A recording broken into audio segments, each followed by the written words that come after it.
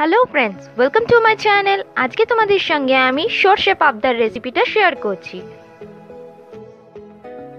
তো প্রথমে পাবদা মাছগুলোকে নুন, হলুদ মাখিয়ে নিচ্ছি। মাখিয়ে নেওয়ার পর সেটাকে পনেরো থেকে কুড়ি মিনিট রেখে দেবো।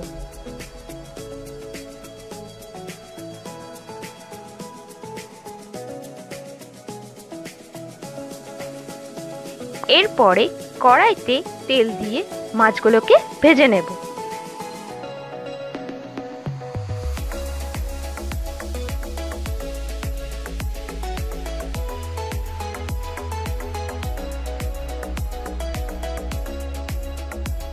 মাছগুলোকে আমি ভেজে নিয়েছি। ওই তেলের মধ্যেই আমি ওয়ান টিস্পুন কালো জিরে দিয়ে দিলাম।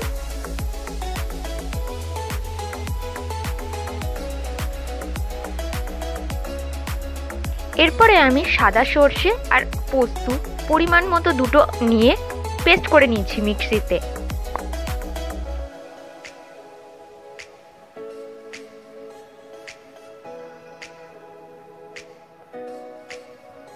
পেস্টটা আমি দিয়ে দিচ্ছি।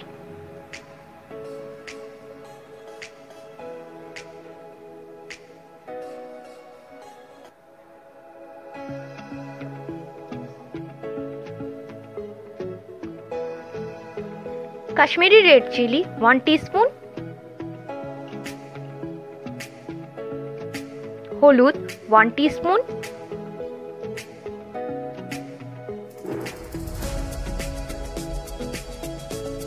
নুন আন্দাজ মতো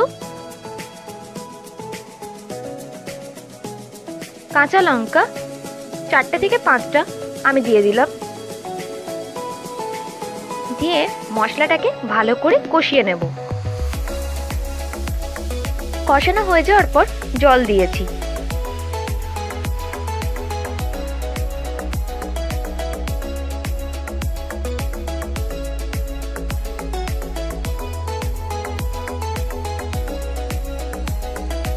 ঝোলটা যখন ভালো করে ভালো করে যখন ফুটে উঠেছে ঝোলটা এরপরে আমি এক এক করে পাবদা মাছগুলো দিয়ে দেবো।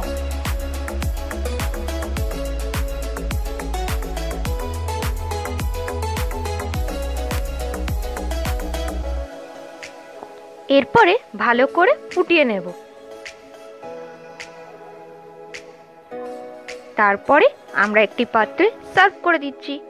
তো আমার রেসিপিটা যদি ভালো লেগে থাকে প্লিজ লাইক করবেন শেয়ার করবেন সাবস্ক্রাইব করতে ভুলবেন না এবং অবশ্যই কমেন্ট বক্সে কমেন্ট করে জানাবেন।